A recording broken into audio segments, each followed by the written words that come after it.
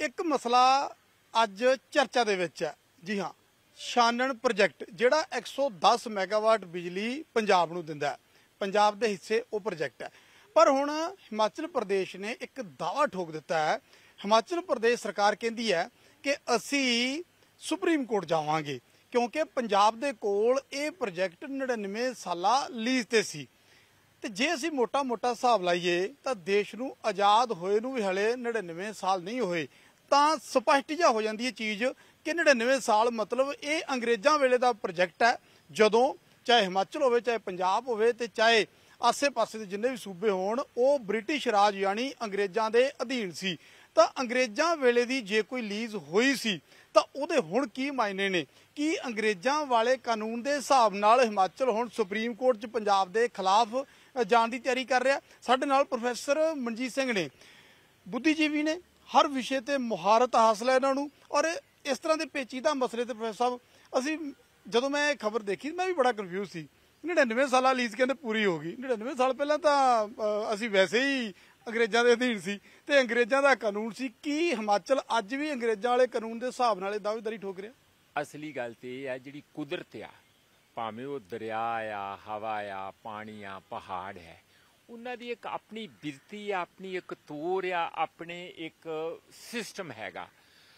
ਹੁੰਦਾ ਕੀ ਆ ਕਿ ਜਿਹੜੇ ਭਾਵੇਂ ਦੇਸ਼ ਆ, ਭਾਵੇਂ ਸੂਬੇ ਆ, ਭਾਵੇਂ ਪਛਾਵਾਂ, ਅਸੀਂ ਜਦੋਂ ਲਾਈਨਾਂ ਖਿੱਚਦੇ ਆ, ਕਦੀ ਉੱਥੇ ਲਾਈਨ ਖਿੱਚਦੀ, ਕਦੀ ਉੱਥੇ ਖਿੱਚਦੀ, ਪਹਿਲਾਂ ਸਾਰਾ ਦੇਸ਼ ਇਕੱਠਾ ਸੀ ਅੰਗਰੇਜ਼ਾਂ ਵੇਲੇ।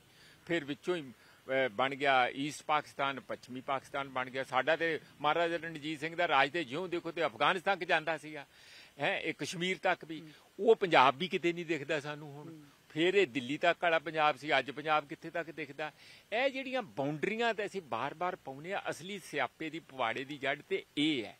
ਕਿਉਂਕਿ ਕੁਦਰਤ ਦੇ ਬਹਾਅ ਤੇ ਉਹੀ ਆ। ਉਹ ਰਾਵੀ ਆ, ਉਹੀ ਰਾਵੀ ਦੀਆਂ ਟ੍ਰਿਬਿਊਟਰੀ ਆ, ਉਹੀ ਬਿਆਸ ਆ, ਉਹ ਬਿਆਸ ਦੀਆਂ ਟ੍ਰਿਬਿਊਟਰੀ ਆ। ਇਹ ਜਿਹੜਾ ਇੱਕ ਬਿਆਸ ਦੀ ਟ੍ਰਿਬਿਊਟਰੀ ਤੇ ਉਦੋਂ ਅੰਗਰੇਜ਼ਾਂ ਨੇ ਸੋਚਿਆ ਉਹਨਾਂ ਨੂੰ ਬਿਜਲੀ ਬੁਜਲੀ ਚਾਹੀਦੀ ਸੀ। ਇੱਥੇ ਕਿਤੇ ਅੰਗਰੇਜ਼ਾਂ ਨੇ ਉਹ ਐਸ਼ੂਚ ਤੇ ਸ਼ਿਮਲੇ 'ਚ ਵੀ ਚਾਹੀਦੀ ਸੀ ਹੋਰ ਵੀ ਚਾਹੀਦੀ ਆ। ਤੇ ਸਮਰ ਕੈਪੀਟਲ ਤੇ ਰਿਹਾ ਹੀ ਆ ਸ਼ਿਮਲਾ। ਤੇ ਉਹਨਾਂ ਨੇ ਇਹ ਜੋਗਿੰਦਰ ਨਗਰ ਜਿਹਨੂੰ ਕਹਿੰਦੇ ਆ ਉੱਥੇ ਹਾਈਡਲ ਪ੍ਰੋਜੈਕਟ ਜਿਹੜਾ ਮੰਡੀ ਡਿਸਟ੍ਰਿਕਟ ਚ ਪੈਂਦਾ ਤੇ ਰਾਜਾ ਉੱਥੇ ਦਾ ਸੀਗਾ ਮੰਡੀ ਦਾ ਜੋਗਿੰਦਰ ਸੇਨ ਕਹਿੰਦੇ ਜਾਂ ਜੋਗਿੰਦਰ ਬਹਾਦਰ ਕਹਿੰਦੇ। ਬਹਾਦਰ ਖਿਤਾਬ ਨਾਲ ਹੋਣਾ। ਉਹਨਾਂ ਨੇ ਪ੍ਰੋਜੈਕਟ ਤੇ ਉਹ ਬਣਾਤਾ ਹਾਈਡਲ ਪ੍ਰੋਜੈਕਟ 110 ਮੈਗਾਵਾਟ ਦਾ। ਇਹ? 1925 ਦੀ ਗੱਲ ਹੈ ਜੀ। ਪਰ ਉਹ ਫਿਰ ਜਿਹੜਾ ਸਮਝੌਤਾ ਸੀ ਕੋਈ ਰਾਜੇ ਆਟੋਨਮਸ ਸੀਗੇ ਉਹਨਾਂ ਦੇ ਅੰਡਰ ਨਹੀਂ ਸੀ। ਉਹਨਾਂ ਨੇ ਉਸ ਰਾਜੇ ਨੇ ਜਿਹੜਾ ਜੋਗਿੰਦਰ ਬਹਾਦਰ ਸੀ ਤੇ ਕਰਨਲ ਬੀਸੀ ਬੱਤੇ ਇਹ ਬ੍ਰਿਟਿਸ਼ ਦਾ ਰਿਪਰੈਜ਼ੈਂਟੇਟਿਵ ਸੀ। ਇਹਨਾਂ ਨੇ ਦੋਵਾਂ ਨੇ ਸਮਝੌਤਾ ਐਦ ਕਰ ਲਿਆ। ਉਹਨਾਂ ਨੇ ਕਿਹਾ ਯਾਰ ਸਾਨੂੰ ਬਿਜਲੀ ਤੇ ਚਾਹੀਦੀ ਆ। ਸਟੇਟ ਤੇਰੀ ਹੈ ਬਿਜਲੀ ਸਾਨੂੰ ਚਾਹੀਦੀ ਆ ਪ੍ਰੋਜੈਕਟ ਅਸੀਂ ਲਾਇਆ ਸਾਡੇ ਨਾਲ ਲੀਜ਼ ਤੇ ਦੇ ਦਿਓ ਸਾਨੂੰ। ਇਹ ਹੁੰਦਾ ਹੀ ਆ 99 ਸਾਲ ਦੀ ਲੀਜ਼ ਤੇ ਉਹ ਬਹੁਤ ਕੁਝ ਕਰਦੇ ਸੀ। ਅੰਗਰੇਜ਼ਾਂ ਨੇ ਉਸ ਵੇਲੇ। ਸ਼ੈਤਾਨ ਦੀ ਮਾਈਂਡ ਵੀ ਲੀਜ਼ ਤੇ ਦੇ ਦਿਓ। ਉਹ ਲੀਜ਼ ਤੇ ਲੈ ਲਿਆ। ਹੁਣ ਉਹ ਤੇ ਚਲੇ ਗਏ 47 ਚ ਇਹ 25 ਦੀ ਗੱਲ ਹੈ। 47 ਚ ਜਾਣ ਤੋਂ ਬਾਅਦ ਇਹ ਥੋੜੀ ਪਤਾ ਸੀ ਵੀ ਪੰਜਾਬ ਦੇ ਵਿੱਚ ਗਾਂ ਫੇਰ ਹੋਰ ਹੋਣਾ ਹਿਮਾਚਲ ਬਣਨਾ ਆ ਬਣਨਾ ਆ ਬਣਨਾ ਉਦੋਂ ਤੇ 47 ਚ ਨਹੀਂ ਸੀ ਪਤਾ। ਸਾਡੇ ਪੰਜਾਬੀ ਸੂਬੇ ਦਾ ਜਦੋਂ ਰੇੜਕਾ ਵਧਿਆ ਰੌਲਾ ਪਿਆ ਤੇ 66 ਨਵੰਬਰ ਦੇ ਵਿੱਚ ਰੀਆਰਗੇਨਾਈਜੇਸ਼ਨ ਐਕਟ ਬਣ ਕੇ ਪੰਜਾਬ ਤੇ ਹਰਿਆਣਾ ਬਣ ਗਿਆ ਤੇ ਹਿਮਾਚਲ ਉਦੋਂ ਯੂਨੀਅਨ ਟੈਰੀਟਰੀ ਸੀ। ਅਗਲੇ ਸਾਲ 1 ਮਈ 1967 ਨੂੰ ਇਸ ਪ੍ਰੋਜੈਕਟ ਦਾ ਫੈਸਲਾ ਇਹ ਹੋ ਗਿਆ ਕਿ ਯੂਨੀਅਨ ਗਵਰਨਮੈਂਟ ਨੇ ਕਹਿਤਾ ਮਿਨਿਸਟਰੀ ਆਫ ਇਰੀਗੇਸ਼ਨ ਨੇ ਕਿ ਇਹ ਪੰਜਾਬ ਦਾ ਮਲਕੀਅਤ ਹੈ ਪੰਜਾਬ ਦੀ ਮਲਕੀਅਤ ਹੈ ਇਹ ਪ੍ਰੋਜੈਕਟ ਅੱਜ ਦੀ ਤਰੀਕ 'ਚ ਵੀ ਇਹ ਪ੍ਰੋਜੈਕਟ ਜਿਹੜਾ ਆ ਉਹ ਪੀ ਪੀਐਸਪੀਸੀਐਲ ਜਿਹੜਾ ਸਾਡੇ ਪਾਵਰ ਜਿਹੜੀ ਪੰਜਾਬ ਦੀ ਜਿਹੜੀ ਪਾਵਰ। ਸਪਲਾਈ ਆ ਬਿਜਲੀ ਦਾ ਮਹਿਕਮਾ। ਇਹ ਉਹਨਾਂ ਦੇ ਪੋਜੈਸ਼ਨ 'ਚ ਆ ਉਹਨਾਂ ਦਾ ਕੰਟਰੋਲ ਆ ਉਹਦੇ ਤੇ। ਕਿਉਂਕਿ ਸਾਨੂੰ ਆਰਡਰ ਮਿਲਿਆ ਸਾਡੇ ਕੋਲ ਚਿੱਠੀ ਹੈਗੀ ਉਹ ਜਿਹੜੀ ਗਿੱਦੜ ਭਬਕੀ ਹੈਗੀ ਉਹ ਪਰਚੀ ਹੈਗੀ ਸਾਡੇ ਕੋਲ। ਹੁਣ ਹੋਇਆ ਕਿ ਜਦੋਂ ਨਾ- ਇਸ ਸਾਲ ਮਾਰਚ ਦੇ ਵਿੱਚ 99 ਸਾਲ ਪੂਰੇ ਹੋ ਗਏ। ਹਿਮਾਚਲ ਨੂੰ ਆਇਆ ਕਿ ਵੀ ਜਿਵੇਂ ਕਿਤੇ ਹੁਣ ਅੰਗਰੇਜ਼ਾਂ ਤੋਂ ਲੈ ਲਓ ਜਿਨ੍ਹਾਂ ਨਾਲ ਤੁਹਾਡੀ ਲੀਜ਼ ਪੂਰੀ ਹੋ ਜਾਓ ਜਾ ਕੇ ਪੁੱਛੋ ਉਹਨਾਂ ਨੂੰ ਵੀ ਸਾਡੀ ਲੀਜ਼ ਪੂਰੀ ਹੋ ਗਈ ਸਾਨੂੰ ਦੇ ਦਿਓ। ਉਹ ਤੋਂ ਬਾਅਦ ਕਿਹੜੇ ਰਾਜੇ ਨਾ ਮੰਡੀ ਦਾ ਰਾਜਾ ਨਾ ਅੰਗਰੇਜ਼? ਤੁਸੀਂ ਹੁਣ ਕਿੱਥੋਂ ਨਵਾਂ ਕੰਮ ਛੇੜ ਲਿਆ? ਇਹ ਅੱਛਾ ਉਦੋਂ ਹਿਮਾਚਲ ਤੇ ਪੰਜਾਬ ਉਦੋਂ ਤਾਂ ਸਾਰਾ ਕੁਝ ਇਕੱਠਾ ਸੀ। ਤੇ। ਇਹ ਫਿਰ ਇਹ ਕਿੱਥੋਂ ਆਇਆ? ਇਹ ਕਾਗਜ਼ ਕਿਹੜੇ ਕਿਹਦੇ ਦਿਮਾਗ ਦੀ ਉਪਜ ਲੱਗਦੀ ਤੁਹਾਨੂੰ? ਕਿ ਭਾਈ ਇਹ ਤਾਂ ਹੁਣ ਪੰਜਾਬ ਦੇ ਸਿਰ ਪਾਓ। ਏਰੀਆ ਮੰਡੀ ਦਾ ਉੱਥੇ ਚਲਾ ਗਿਆ। ਇਹ ਏਰੀਆ ਤੇ ਹਿਮਾਚਲ ਚ ਚਲਾ ਗਿਆ ਨਾ 71 ਦੇ ਵਿੱਚ ਜਿਹੜੀ ਹਿਮਾਚਲ ਹੋਂਦ ਵਿੱਚ ਆ ਗਿਆ। ਉਹ ਤਾਂ ਉਹੀ ਗੱਲ ਵੀ ਰਾਜੇ ਦਾ ਤਾਂ ਰਾਜ ਵੀ ਨਹੀਂ ਰਿਹਾ ਰਾਜੇ ਤੋਂ ਵੀ ਹਿਮਾਚਲ ਗਵਰਨਮੈਂਟ। ਆ ਗਈ। ਹਾਂ ਉਹਦੇ ਚ ਆ ਗਿਆ।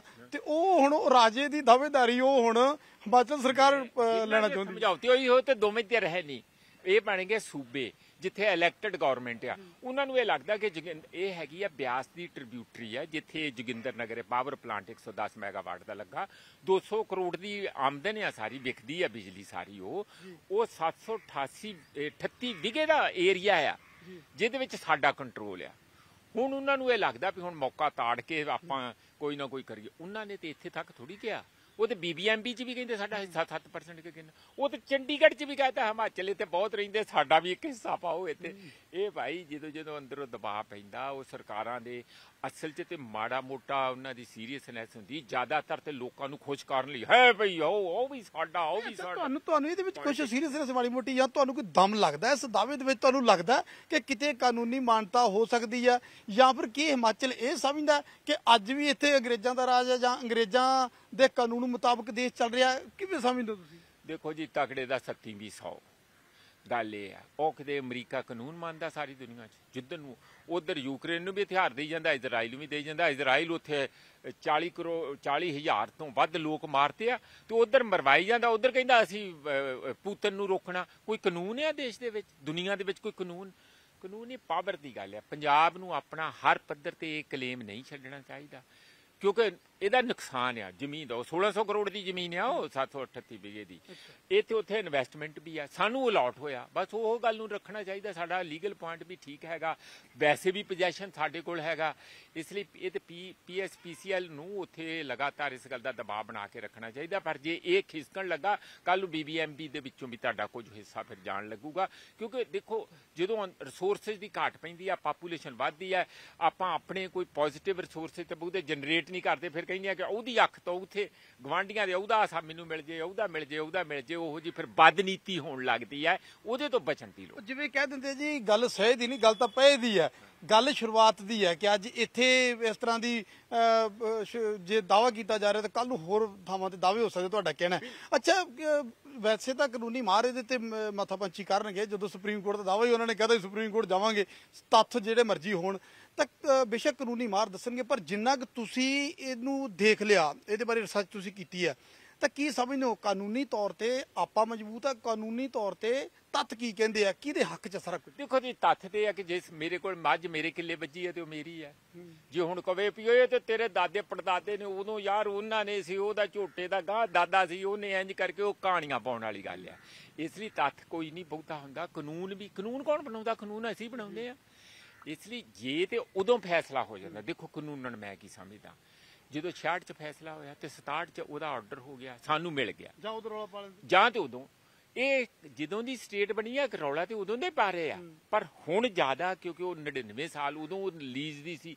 ਜੇ ਕਲੇਮ ਤੇ ਉਦੋਂ ਅੰਗਰੇਜ਼ਾਂ ਵਾਲਾ ਟਾਈਮ ਵੀ ਵਿੱਚ ਗਿਣੀ ਜਾਂਦੇ ਹੁਣ। ਵੀ ਵਿੱਚ ਗਿਣੀ ਜਾਂਦੇ ਆ। ਉਹਦਾ ਕੋਈ ਇੱਥੇ ਹੁਣ ਅਰਥ ਨਹੀਂ ਨਾ ਅੰਗਰੇਜ਼ ਰਹੇ ਨਾ ਰਾਜ ਰਹੇ ਮੈਂ ਤੇ ਇਹੀ ਕਹਿਣਾ ਇਸ ਲਈ ਇਹਦੇ ਚੋਂ ਨਿਕਲਣਾ ਪਾਉਣਾ ਬਹੁਤਾ ਕੁਝ ਨਹੀਂ ਆ। ਪਰ ਜੇ ਪੰਜਾਬ ਅਵੇਸਲਾ ਹੋਊਗਾ ਇਹ ਗੱਲ ਪੱਕੀ ਹੈ ਫਿਰ ਉਹ ਕਿਤੇ ਨਾ ਕਿਤੇ ਕੋਈ ਘੁੰਟਰਬਾਜੀ ਪਾ ਕੇ, ਕੋਈ ਕਸੂ, ਕਾਨੂੰਨ ਫਸਾ ਕੇ, ਇੱਧਰ ਦਾ, ਸੱਜੇ ਦਾ, ਖੱਬੇ ਦਾ, ਉਹ ਤੇ ਕੋਰਟਾਂ ਨੇ ਉਹ ਫੈਸਲਾ ਕਰਨਾ ਹੁੰਦਾ ਜਿੰਨਾ ਜੋ ਜੋ ਤੁਸੀਂ ਉੱਥੇ ਉਹਨਾਂ ਦੇ ਕੋਲ ਫੈਕਟ ਰੱਖਣਗੇ, ਤਾਂ ਫਿਰ ਆਪਾਂ ਜੇ ਸੁੱਤੇ ਰਵਾਂਗੇ, ਅਵੇਸਲੇ ਹੋਵਾਂਗੇ ਤੇ ਨੁਕਸਾਨ ਵੀ ਕਰਵਾ ਸਕਦੇ ਆ ਪਰ ਅੱਜ ਦੀ ਤਰੀਕ 'ਚ ਇਹੋ ਜਿਹਾ ਕੋਈ ਕਿਸੇ ਕਿਸਮ ਦਾ ਖਤਰਾ ਨਹੀਂ, ਤੁਹਾਡੇ ਕੋਲ ਕਾਗਜ਼ ਮਜ਼ਬੂਤ ਪੱਕੇ ਹੈਗੇ ਤਾਂ ਇਹ ਇੱਕ ਕਹਿੰਦੇ ਸੀ ਕਿ ਪੁਰਾਣਾ ਸੱਪ ਖੜ ਚੋਂ ਨਿਕਲਿਆ। ਉਦੋਂ ਦਾ ਦਾਵਾ ਠੋਕ ਰਹੀ ਹੈ ਹਿਮਾਚਲ ਸਰਕਾਰ ਕਿ ਇੱਕ ਸੰਧੀ ਹੋਈ ਸੀ ਜੋਗਿੰਦਰ ਨਗਰ ਦੇ ਰਾਜੇ ਤੇ ਉਸ ਵੇਲੇ ਜਦੋਂ ਅੰਗਰੇਜ਼ ਰਾਜ ਸੀ ਅੰਗਰੇਜ਼ਾਂ ਦੇ ਵਿੱਚ, ਤਾਂ ਅੰਗਰੇਜ਼ ਵੀ ਚਲੇ ਗਏ ਰਾਜਾਂ ਦਾ ਰਾਜ ਵੀ ਨਹੀਂ ਰਿਹਾ, ਪਰ ਹੁਣ ਹਿਮਾਚਲ ਦਾਵਾ ਕਰਦਾ ਕਿ ਛਾਨਣ ਪ੍ਰੋਜੈਕਟ ਤਾਂ ਸਾਡਾ ਹੈ, ਕਿਉਂਕਿ ਇੱਕ ਸੰਧੀ ਅੰਗਰੇਜ਼ਾਂ ਵੇਲੇ ਹੋਈ ਸੀ, ਇੱਕ ਉਦੋਂ ਲੀਜ਼ ਹੋਈ ਸੀ, ਉਸ ਲੀਜ਼ ਦੇ ਤਹਿਤ ਜਦੋਂ ਹੁਣ ਲੀਜ਼ ਪੂਰੀ ਹੋ ਰਹੀ ਆ, ਤਾਂ ਭਾਈ ਹੱਕ ਸਾਡਾ ਖੈਰ, ਅਦਾਲਤ ਦੇ ਵਿੱਚ ਜਾਣ ਦੀ ਗੱਲ ਕਰਦੇ ਨੇ, ਤਾਂ ਉੱਥੇ ਹੁਣ ਹਿਮਾਚਲ ਕੀ ਪੱਖ ਰੱਖਦਾ ਤੇ ਪੰਜਾਬ ਕਿੰਨੀ ਕੁ ਮਜ਼ਬੂਤੀ ਦੇ ਨਾਲ ਆਪਣਾ ਪੱਖ ਰੱਖਦਾ ਵੇਖਣਾ ਹੋਵੇਗਾ। ਪਰ ਇਸ ਤਰ੍ਹਾਂ ਦੇ ਪ੍ਰੋਜੈਕਟ ਪ੍ਰੋਫੈਸਰ ਮਨਜੀਤ ਸਿੰਘ ਜੀ ਹੋਰਾਂ ਦੇ ਮੁਤਾਬਕ ਕਿਤੇ ਨਾ ਕਿਤੇ ਸਿਆਸਤ ਤੋਂ ਪ੍ਰੇਰਿਤ ਜਿਹੜੇ ਇਸ ਤਰ੍ਹਾਂ ਦੇ ਬਿਆਨ ਜਾਂ ਇਸ ਤਰ੍ਹਾਂ ਦੀਆਂ ਚੀਜ਼ਾਂ ਜਿਹੜੀਆਂ ਨੇ, ਉਹ ਨਜ਼ਰ ਆਉਂਦੀਆਂ ਨੇ। ਕੈਮਰਾਮੈਨ ਜਤਿੰਦਰ ਸਿੱਧੂ ਦੇ ਨਾਲ ਨਪਿੰਦਰ ਸਿੰਘ ਬਰਾੜ, ਨਿਊਜ਼ 18 ਚੰਡੀਗੜ੍ਹ।